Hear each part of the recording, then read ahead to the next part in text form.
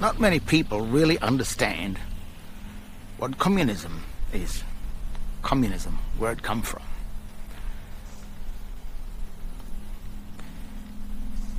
And it's it's because people don't understand the three principles of law, the three law systems. There's, there's three law systems that operate in this world. The first is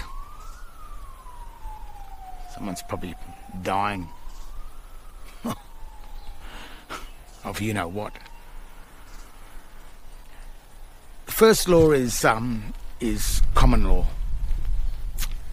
That's the law, or common law was land law. It's the law that governs men in relation to each other on land.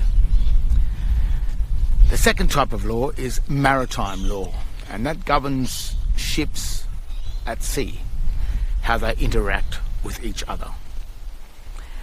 And maritime law and common law are probably very similar. And the reason for these systems is to try and prevent bloodshed and try and get a resolution before it comes to killing each other. And what it also does is that when the protocols of law, whether it be the land law or the law of the sea, which is maritime law, if certain protocols such as notice, notice of default, and notice of acceptance, if these things haven't been accepted and a hostile aggressor takes over a country in violation of these protocols of law, then that aggressor never legally holds the ownership of that land. And that's the reason for these types of law. There's land law and law of the sea, law of the land, law of the sea. But the third type of law is the law that governs the crew members on ships. and that's the sort of law which is statute law or stone law, the law that's been written as a statute. They are rules, terms and conditions and rules of a ship. Which means that when you become a crew member on a ship, someone else's ship, the moment you enter onto that ship, you then become subject to those statutes and codes and the rules of that ship. And that law is called Admiralty Law, which sort of makes sense because it's not shipping law as governing the process between or the interreaction between two ships, but this governs the interreaction between the skipper and the crew on a ship. Now, the thing is with shipping law, all commerce and all corporations operate under this shipping law. Because in ships, if you want to be on the sea, you must be incorporated with a, with a ship, with a vessel. And if you are not incorporated with that vessel, then you will drown. so, an incorporation with, with a vessel on the sea is very important. And same with in the rules of commerce, when you want to enter into the, the rules of commerce, which operates under the law of the sea as well, then these the corporations also operate under the laws of the sea, the law of shipping, the maritime laws. So that in a corporation, which is really a ship without a ship, a corporation has all the same manifestations of a ship, has all the same sort of paperwork, but the ship itself is fictional. And the ship doesn't really exist. It does on paper. So, therefore, when you become a citizen of a corporation, you become subject to the same type of admiralty law that the crew members on a ship are subject to.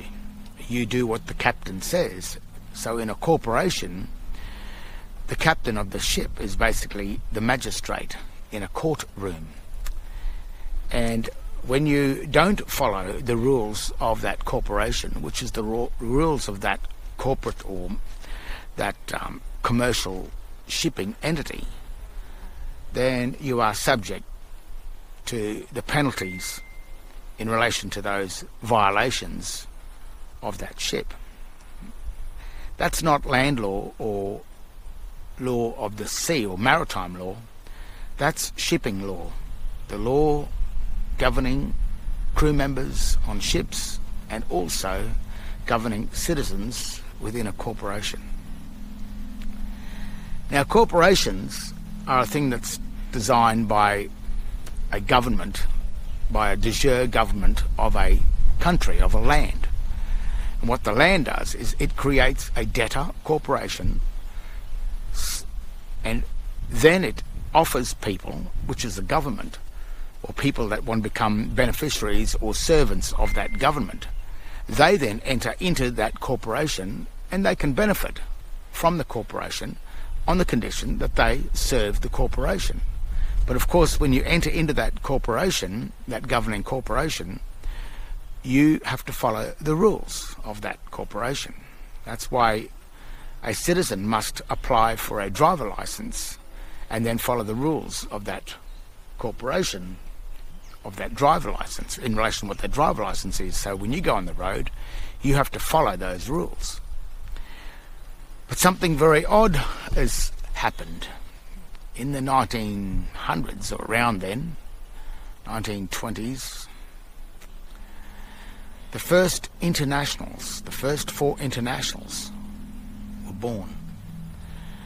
And an international is a corporation not deriving from the de jure country of where you were born, but it's an offshore company. It's a it's a thing that derives from no land base. It's international, meaning not national. And communism is the ruling system which is within those international corporations, they are still bound by this thing called admiralty law. Those international corporations are communes, or that's where the word communism is coming from. It's the governing of those international corporations. And you will notice that all of these communists, these first four communists, these first four um, internationals, they all operate under military rule. You'll see that the atrocities caused by Hitler and Stalin, Pol Pot, Mao Zedong, all of these incredible, brutal dictators were the heads, they were the magistrates of a private international corporation.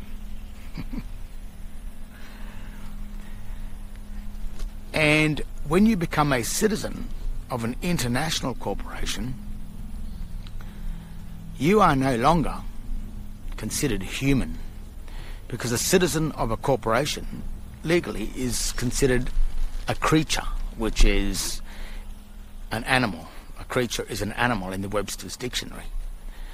So those citizens of an international corporation, such as the Commonwealth of Australia, that is registered to the United States Securities and Exchange Commission, which is a company of the United Nations. And United Nations is an international, it has no land. It depends on all of the corporations that have joined it to accept or to take the equitable title of those lands, but it doesn't have any land itself.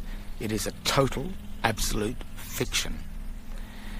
And those people that have joined these international companies, these corporations, and subjected themselves to this admiralty communist law, governed by these dictators and military pirates because they don't have any land. You have done that on your own ignorance of the knowledge of what these three laws are. Law of the land, common law, that relates to men on a sovereign piece of land. The maritime law that relates to the interaction of ships on the sea. And of course, then there's Admiralty law, which deals with the control of the crew members on ships and also the citizens of corporations. So, if you don't understand these simple principles of law, then you may be a citizen of a private foreign corporation trying to claim some sort of sovereignty or some sort of a common law right. And you are basically going to make a fool of yourself to the heads of these large international pirate corporations, such as the United Nations. So, the real way out of this is that you must somehow start to consider the surrendering, the surrendering of your citizenship, your like your crewman side, your crewmanship, standing in these corporations, and you've got to come back to if you're on an international ship into a passenger side standing, and that's why I've been harping on about the, these two birthing certificates. There's one is the the state birth certificate, which is what you've already that you've all mostly got. That allows you to be a citizen on their ship. But the other certificate is the thing called the certificate of birth, which is the original setting up of the trusteeship. and that one puts you on as not a beneficiary, which is a serving, uh, a benefit, a benefiting servant from that corporation, but as a benefactor of that trusteeship. The benefactor is like the passenger. He may take no benefit, but he holds directive power over that trusteeship. He directs the captain of his ship. The ship directs the crew. The crew are the trustees of the captain. The captain is the trustee of the benefactor or the passenger of that ship. And these two birthing certificates identify where you stand on a ship. Now, when you're incorporated into a ship, the word incorporated means you and the ship are together. If you were separated at sea, you would drown. And what they've done is they've taken your Christian name and your surname, so called surname. And when you are asked for your name and date of birth, you will say, My name is John Henry Doe, which is an incorporation of the Christian name and the surname. The moment you have identified you as an incorporation, you will come under the international commercial law of shipping. You straight away. And then when they ask you for your date of birth, rather than giving the date of birth of your Christian name, you will give the date of birth of the surname. And of course, the surname is the serpent of the sea name. And the serpent of the sea name, the surname, is the name that creepeth up from below, that, that comes from the sewer. And any corporation that operates on land is connected to the sea via the sewer, which is the man made channels that flow the water from land to the sea. That's its connection. That's why the symbols of Satan is always the goat. And of course, the goat, G O A T, in the legal dictionary means the sewer.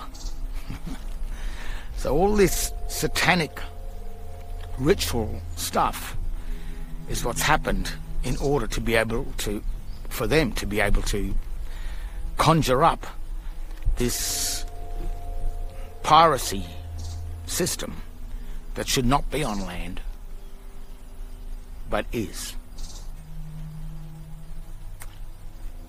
If you can get back, or if you can stand on your own two feet without having to accept a benefit from these corporate, foreign, international corporate states, big word, if you can stand without being dependent on them, or if you can exist without the benefit, then you have a greater chance of stepping back into the benefactor side of this trust. And the way I see it is that maybe that is the only real saving grace that you have. Because while you are a crew member on these ships, you are absolutely, totally under the, at the mercy of the captains of these ships. And of course, corporations only operate on profit, and if you interfere with their profit margins, whether it be legal or illegal, uh, you will pay the price. Because the bottom line for a corporation is not the the safety of the people. A corporation's only effort or only moral or only standing or a corporation's only motive is profit and keeping the, the corporation afloat. If it goes into debt, it sinks, and all those that are on it will sink with it. The corporation may want to cull its costs. It may want to drown its crew. And when you understand this type of international shipping law, this trust law system, that has no mercy for citizens or its crew, as the history of the British Admiralty, you can see this in the British Admiralty, the history that how they get these crew members onto their ships and what they do with them and the stealing of their estates. These things um, can affect or can greatly damage your life if you remain as a crew member on these untrustworthy corporate ships in the Sea of Commerce. So that's what communism is. It is actually Admiralty law.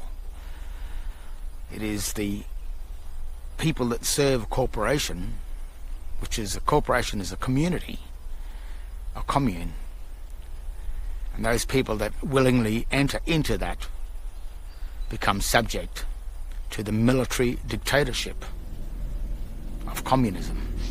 And as we all know, the history of communism is not very good when it comes to the lives of people. Because those people that have become citizens have lost their standing as people. They've become the dead entity the dead corporation, the trustee of a dead corporation. Corporation is dead speaking. So all of these things you've been told, it's all there in front of us. But we just have to start looking. And you've got to start thinking and using